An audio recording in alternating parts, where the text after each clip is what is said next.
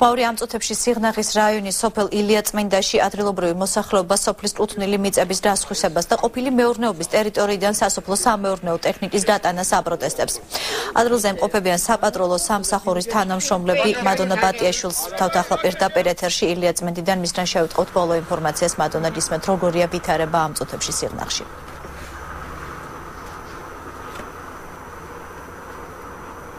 დიახ დაპირისპირება ადგილობრივ მოსახლეობას და კომპანიის წარმომადგენლებს შორის მას შემდეგ დაიწყო, რაც კომპანიის წარმომადგენლები სოფელში თავიანთი კუთვნილი მოწყობილობების წასაღებად მივიდნენ. საქმე ეხება სოფელ ილიაწმინდაში ყოფილი საცდელი მეურნეობის ქონებას, როგორც ადგილობრივები ამბობენ, 2009 წელს პრეზიდენტის განკარგულების საფუძველზე საცდელი მეურნეობის კუთვნილი ქონება მიზერულ თანხებში გასხვისდა, ისე რომ სოფლის სოფლის მოსახლეობამ ამის შესახებ არაფერი არ იცოდა.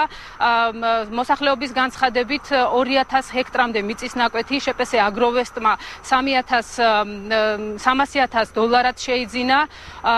თავდაპირველად როგორც მოსახლეობა ამბობს ამ კომპანიის უკან ყოფილი ნაციონალური მოძრაობის ყოფილი დეპუტატი პარლამენტის წევრი არჩილ გეგენავა იდგა ხოლო შემდეგში დავით კეზერაშვილი დანარჩენი ქონება მეურნეობის ქონება მანქანა დანადგარები და შენობა ნაგ ნაგებობები აგრალურ და თავისუფალ უნივერსიტეტს გადაეცა და სწორედ დღეს თავისუფალი უნივერსიტეტის წარმომადგენლებს და ადგილობრივ მოსახლეობას შორის იყო ინციდენტი ადგილობრივი ხელისუფლება არაძლევდა თავისუფალი უნივერსიტეტის წარმომადგენლებს რომლებიც ჩამოსულები იყვნენ და შენობა ნაგებობებიდან მანქანა დანადგარების გატანას ცდილობდნენ ამ წუთებში სიღნაღის რაიონული პოლიცია იმყოფება სოფელ ილიაწმინდაში და ცდილობს გაერკვას სიტუაციაში სოფლის მოსახლეობა ამბობს რომ სასწრაფო მეურნეობის ქონება ეკუთვნის სოფელს, რადგან სოფელში არ ჩატარებულა პრივატიზაცია და შესაბამისად სოფლის არც ერთი მოსახლეობა არ ფლობს სახნავსათეს მიწებს. მათი ცნობილი გახდა, რომ შეპესე აგროვესტმა რამოდენიმე დღის წინ თავიანთი კუთვნილი მიწები უცხოელებზე გაასხვისა და ეს არის სწორედ სოფლის მოსახლეობის პროტესტის მიზეზი. ახლა ჩვენ შეგვიძლია მოვისმინოთ ადგილობრივების კომენტარები.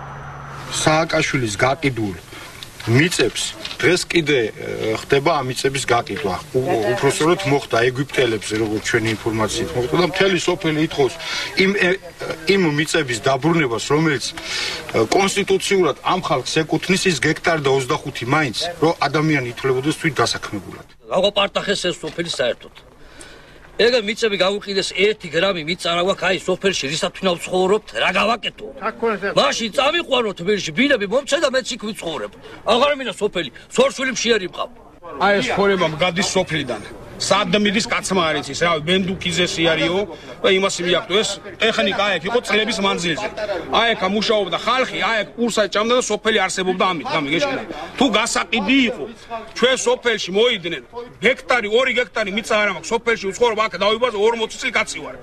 2 ჰექტარი არ მაქვს ზოგ 1000 ჰექტარი აქ და ვერ გავიგე რა ხდება ერთი სიტყვით ადგილობრივები ხელისუფლებას დახმარებას თხოვენ მათ მიწების დაბრუნების მოთხოვნით ხელმოწერების ხელმოწერებით შეაგროვეს და პარლამენტს გაუგზავნეს.